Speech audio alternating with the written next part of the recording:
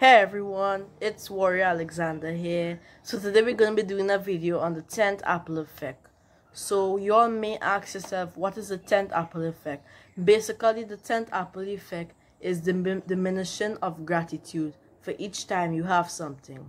Example, earlier this week, um, well, KFC had now opened because it had shut down for a month.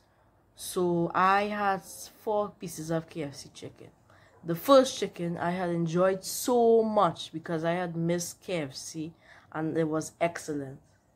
The second chicken was good. The third chicken was okay. And the fourth chicken I didn't really enjoy that much as the first chicken. That is what that's the 10th apple effect. It's when the diminishing of gratitude. On studies also show that it is also the diminishing of marginal utility.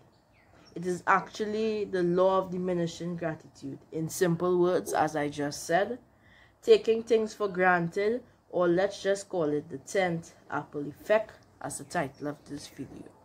So the purpose of this video, never let the 10th Apple effect take control of you.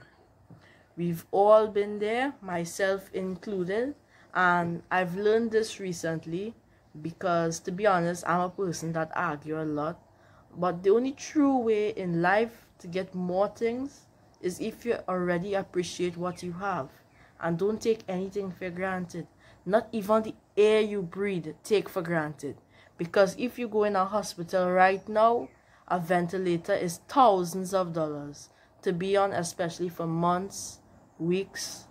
I said to myself I want to do a video on the 10th Apple effect because of how I felt about not just the KFC chicken but about other aspects in life and since as I want to do life lessons to encourage people and make them do what they want to do best in life.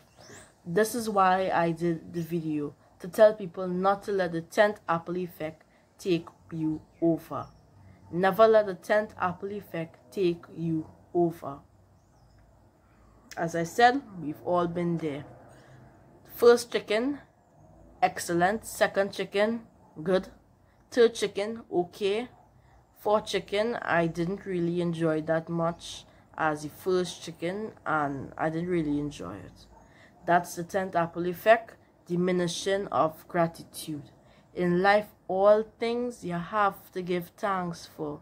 If you don't give thanks in life for the little things, you can't get anything else in life. I learned that recently.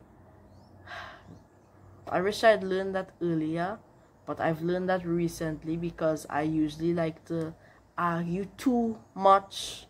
And the only true way in life, I repeat it again, is to get more stuff, is to appreciate what you already have in plenty of my videos um you all may ask yourself why i repeat myself so often but the reason why i repeat myself so often is to let it stick in your head. In all my life lessons in all my videos i let everything stick in your head especially when i do life lesson videos. To not let the 10th apple effect get hold of you and other stuff like that. It's a serious thing you always have to have gratitude for every single thing in this world. You have the air, the birds that just chirp, everything, your parents, your friends, and make sure you make good friends. But that's for our next video, not this video. 10th Apple Effect. Every time you have something else, it becomes more dull and boring. That is basically the 10th apple effect. So basically i'm trying to say again as i repeat so that it's stuck in your head don't let the 10th apple effect take you over. And only true way in life to get more of something you want is to appreciate what you already have.